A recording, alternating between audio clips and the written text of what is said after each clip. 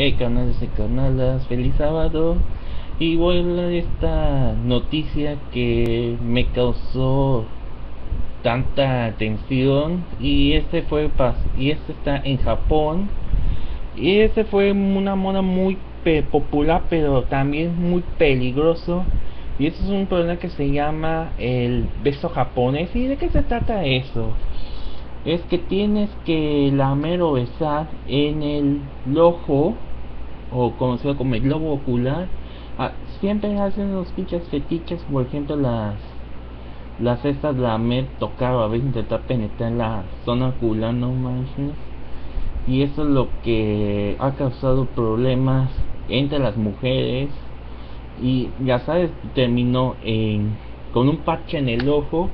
Y ese fue está ganando popularmente en las en los estudiantes de secundaria y prepa y dice que una chica dice que confesó haber sido lamido o haber lamido los globos oculares de otros. Dice que en la director de la escuela dijo que solo se dio cuenta de algo que pasaba con algunos estudiantes que fue lamido está tenía se presentaba con parches en los ojos no mames. Y esto es lo que ha causado porque a veces la lengua tiene unas chingas de bacterias en el ojo en la lengua y por eso causa estas malditas enfermedades.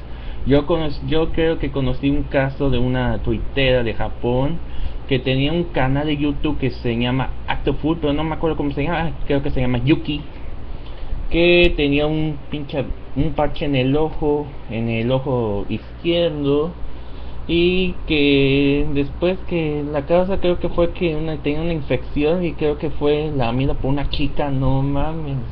También las chicas también lamen, lamen a los ojos, no manches, juego. Bueno, eso es lo que he visto. Fotos con chicos de parche y luego he visto videos de este canal de YouTube de las Actful y bueno, eso es lo que está pasando. El beso japonés dice que no es una práctica aislada, que los ojos son protagonistas.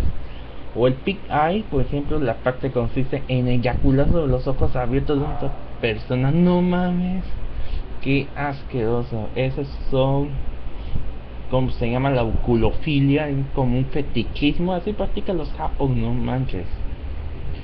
Y la parte dice que las autoridades sanitarias no pueden ver con tanto desinterés en el tema o potencial viral de las redes sociales que ha un incremento de esta práctica.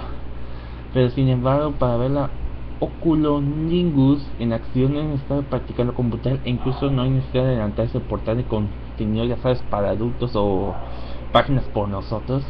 Basta con buscar en la popular YouTube para atizar esa parte que poco a poco incrementa gracias a la maldita internet.